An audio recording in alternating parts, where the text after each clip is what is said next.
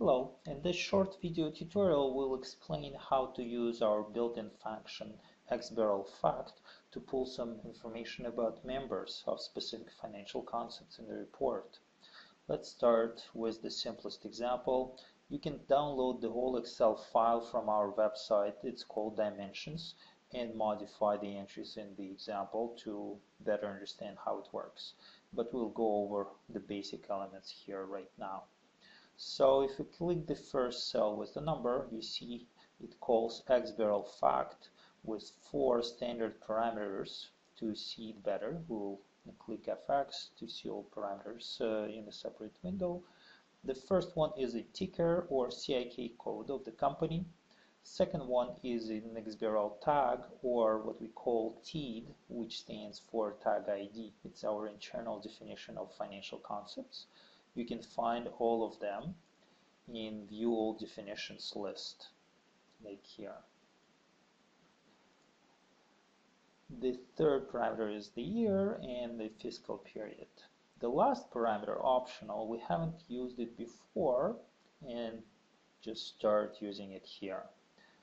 Here we know that the there is a member with the name infrastructure member and we can enter that name in the last parameter once you press OK, the function returns the uh, dollar value for that member for specific year and specific fiscal period.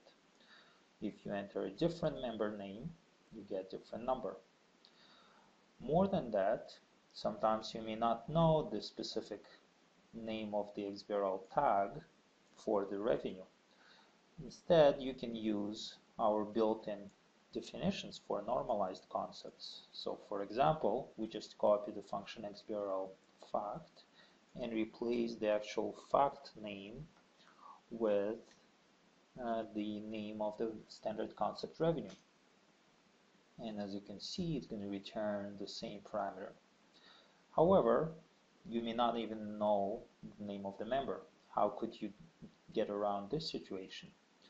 First of all, if you put in the optional parameter the keyword all and you just enter this function in a single cell, it's going to return the total number of members in the specific financial uh, concept or axis.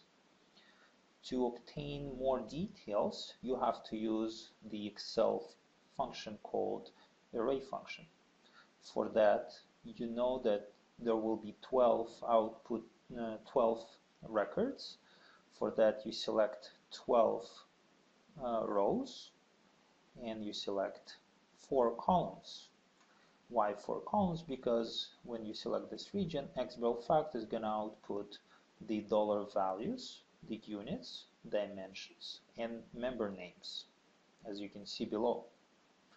So what you have to do is just select the given number of uh, rows specified as count and four columns and once you click inside the formula bar you hold control shift enter the standard procedure to execute array function. And XBRLFact will return you all the elements dimensions and members.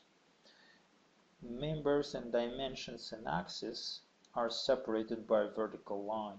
So for example here we used the name infrastructure member. This is the name here for the company we consider here as in the, in the example, there are uh, different axes. There is business segment axis and there is also geographical axis. These two are separated by the vertical line under dimension and under member.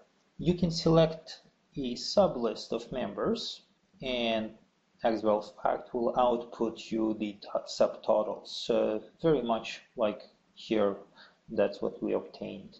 For that, we have another example below where the members are listed as a comma separated list and it doesn't matter uh, if you use uh, lowercase or uppercase because the function uh, does case insensitive comparison of member names and as you can see we listed two members and obtained two values that are identical to the values that we uh, obtained individually for each member.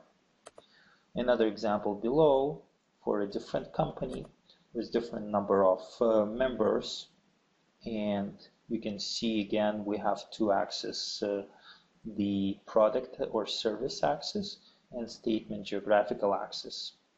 And for each one, you have the member name and the actual dollar value. With this, we finish our tutorial. Thank you.